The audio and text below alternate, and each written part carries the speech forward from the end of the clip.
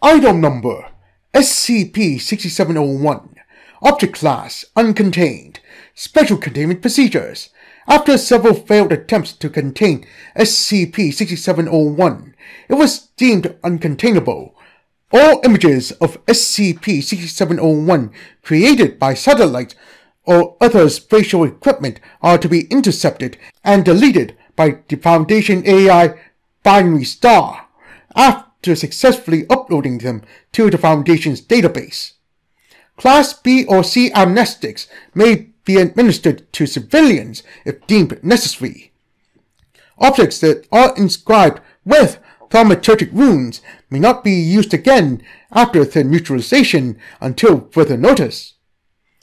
Description SCP-6701 is a Foundation-made wooden swallow toy created to entertain a young humanoid anomaly at Site-47.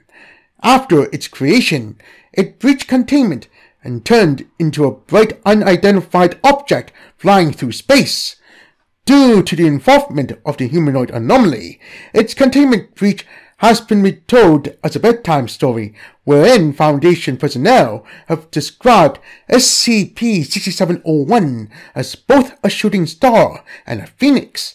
As of writing, both has been deemed plausible by Foundation AI Binary Star. It is unknown if SCP-6701 is sentient or possesses any other kind of anomalous capabilities. Discovery Andrew Scriver, a level 3 handyman on Site-47, occasionally volunteered to make objects for anomalies and D-Class on site. On the 2nd of August, 2020, after using a carving bench, Mr. Scriver went to the nearest workshop for some cogs and other materials to make machinery to complete the construction of SCP-6701. At the time, Site-47 was temporarily reusing neutralized objects that previously were inscribed with thaumaturgic runes in the experimental phase of a possible global waste and resource plan.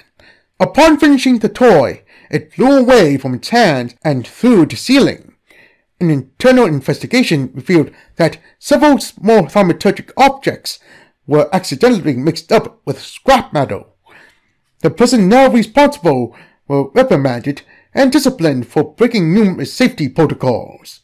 After informing the guards, the anomaly was deemed out of range for aerial retrieval with standard equipment. Note, mostly consisting of drones or unmanned flying objects with nets. Instead, retrieval teams in a radius of two kilometers were dispatched and Mr. Scriver was taken inside for interrogation. SCP-6701 maintained its course and began to accelerate to speeds impossible for its anatomy. Retrieval by plane was ordered by Site Director Mix, but before any aircraft had set off, SCP-6701 had broken the sound barrier and reached Mach 1. Note, 1 Mach is equal to 330 meters per second, 1,188 kilometers per hour, or 761.21 miles per hour. Because SCP-6701 was still accelerating and now under the influence of several celestial mechanics, including the Coriolis effect. Note, the Coriolis effect can be defined as the deflection in the pan of an object that is not connected to the surface for a significant period of time caused by the rotation of the Earth. A stealth jet flew out instead. SCP-6701 spontaneously combusted when it left the troposphere, and not soon after breach Mach 3. The mission was aborted as personnel could not keep up with its speed nor altitude.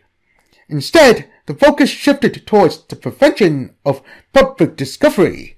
Occasionally, SCP-6701 is detected by Foundation equipment flying at a faster pace than in its previous observation. The humanoid anomaly was given a handcrafted telescope with several anti-cognito hazardous lenses after approval of Site Director Mix.